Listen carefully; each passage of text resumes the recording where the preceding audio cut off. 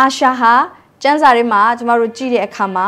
ယာကုပ်ရဲ့ရှစ်ယောက်မြောက်သားဖြစ်တယ်ဆိုတာကိုမြင်ရတယ်။ယာကုပ်ဟာကောင်းကြီးပေးတဲ့အခါမှာ gap ပြီးတဲ့အခါမှာအာရှာကိုကောင်းကြီးပေးတယ်ဆိုတာမြင်ရတယ်။ gap နဲ့အာရှာကအမေတယောက်ထဲကနေပြီးတော့မွေးဖွားခြင်းခံရတဲ့သူတွေဖြစ်တယ်။သူတို့ကဇိလပလေအာရဲ့ကျွန်မကနေပြီးတော့မွေးဖွားတဲ့သားနှစ်ယောက်ဖြစ်တယ်။သူ့ရဲ့နာမည်ကိုပေးတဲ့အခါမှာ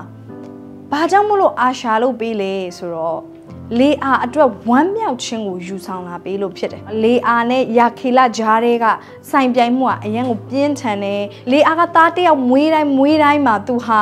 သူ့ဘက်ကနေပြီးတော့သူ့ခင်မွန်းတယ်နဲ့ပတ်သက်ပြီးတော့ပြန်လေရင်းနှီးခြင်းတဲ့အရာသူ့ခင်မွန်းတယ်ကိုသူလိုချင်တောင်းတတဲ့အရာအမြဲတမ်းသူပြောလို့ရှိတယ်ဒီတစ်ခါမှာတော့အာရှာမွေးတဲ့အခါမှာလေအာရဲ့အမြင်ဟာဘလို့စပြီးတော့မြင်လာလဲဆိုတော့ ငါဟာကောင်းကြီးခံစားရတဲ့သူပဲငါဟာမင်္ဂလာရှိတဲ့သူပဲငါဟာ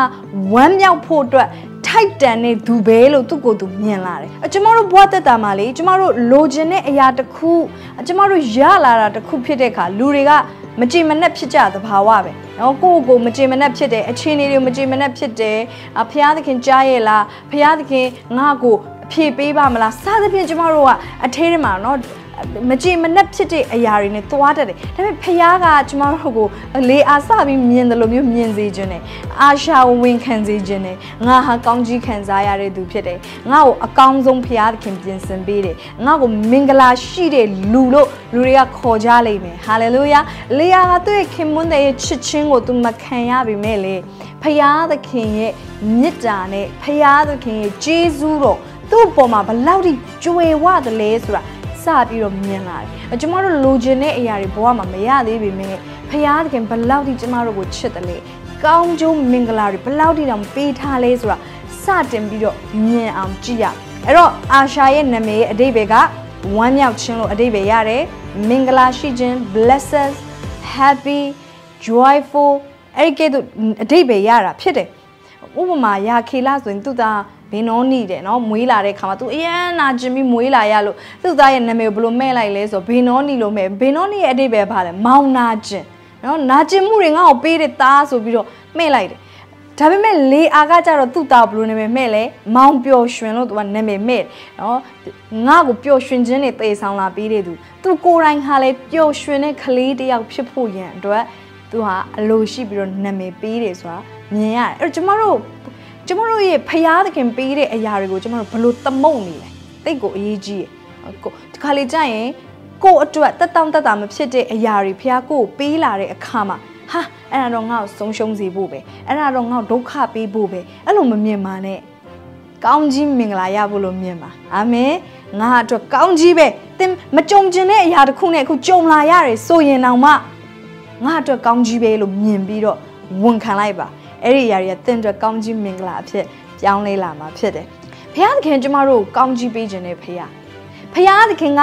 ကျမတို့ကိုမျက်နှာသာပေးခြင်းနဲ့ဖခင်ဆိုတာအာရှာရဲ့အသက်တာကိုလေ့လာရင်ထင်ထင်ရှားရှားကျမတို့မြင်ရတာဖြစ်တယ်။အာရှာကောင်းလို့ပဲမဟုတ်ဘူး။အာရှာပြည့်စုံလို့မဟုတ်ဘူး။ဒါပေမဲ့ဖခင်ရဲ့ရွေးကောက်ခြင်းဖခင်ရဲ့ကောင်းကြီးပေးခြင်းနဲ့နှလုံးသားကောင်းတဲ့အဖေရဲ့နှလုံးသားကြောင့် အာရှာဟာကောင်းကြီးခံစားရတာဖြစ်တယ်။အာရှာသူ့ရဲ့မိခင်ရဲ့ချစ်ချင်းမြတ်တာကြောင့်မွေးကလေးကနေပြီးတော့ကောင်းကြီးမင်္ဂလာနာမည်နဲ့မွေးဖွားခွင့်ရလာတယ်။ဟာလေလုယာ။အာမင်။အကျမတို့သိဖို့လိုတယ်။ကျမတို့ရဲ့ကောင်းကင်ဖခင်ဟာကျမတို့ကိုသိချစ်တယ်။ကျမတို့ကိုကောင်းကြီးပေးခြင်းတယ်။ကျမတို့အပေါ်မှာသူဟာဝမ်းမြောက်တယ်။လေအာကသူ့ရဲ့သားကိုကြည့်ရတဲ့အခါမှာငါအတွက်ဝမ်းမြောက်စေတော်သူလို့မြင်တယ်လို့ပဲကောင်းကင်ဖခင်ကလည်းကျမတို့ကိုကြည့်တဲ့အခါမှာ ငါ့ကိုဝမ်းမြောက်စေတော်သူလို့မြင်တယ်ဖယားသခင်ကပဲကျမတို့တော့ဝမ်းမြောက်စေတာမဟုတ်ကျမတို့ကလည်းဖယားရဲ့နှလုံးသားကိုဝမ်းမြောက်စေတော်သူတွေဖြစ်တယ်ဖယားရဲ့နှလုံးသားကိုဂျင်းနဲ့ကြည်နူးစေတဲ့သူတွေဖြစ်တယ်ဖယားကမိတ်ဆွေကြည့်တဲ့အခါမှာအားရဂျင်းနဲ့ဝမ်းမြောက်နေတာဖြစ်တယ်တင်ကိုကြည့်တဲ့အခါဒုံနဲ့ရိုက်ချင်စိတ်ရှိတာမဟုတ်ဘူးတင်ကိုပွေ့ဖက်ချင်တာဖြစ်ပါတယ် ဖခင်ခင်ကကျမတို့ကိုဝမ်းမြောက်ခြင်းနဲ့လည်းဖြည့်ပေးခြင်းနဲ့သူကိုယ်တိုင်ကျမတို့အပေါ်မှာဝမ်းမြောက်တယ်လို့ကျမတို့ရဲ့အထဲမှာလည်းအဲ့ဒီဝမ်းမြောက်ခြင်းနှလုံးသားနဲ့ကျမတို့ကိုဖြည့်ပေးခြင်းတာဖြစ်တယ်ဒါကြောင့်ဒေသနာကျမ်းခန်းကြီးကိုငယ်ခုနှစ်မှာဒီလိုပြောတယ်သွားတော့ဝမ်းမြောက်သောစိတ်နဲ့အစာစားလို့ရှင်လန်းသောစိတ်နဲ့စပြည့်ရည်ကိုတောက်လို့တင်ပြုတ်သောအမှုတို့ကိုဖခင်သခင်ဝန်ခံတော်မူ၏တဘောပါလေ God's approve you ဖခင်သခင်ဒီသင်ကိုလက်ခံတယ်ဖျားသင်ကိုလက်ခံတယ်ဖျားသင်ကိုချစ်တယ်ဖျားသင်ကိုယေရှုခရစ်ကြောင့်မို့လို့သူ့ရဲ့သားသမီးဖြစ်လက်ခံပြီးဆိုတာကိုသိရင်ကျမတို့ဟာဘာလို့ဖို့ပဲကြံတော့လဲဝမ်းမြောက်ဖို့ပဲကြံတော့တယ်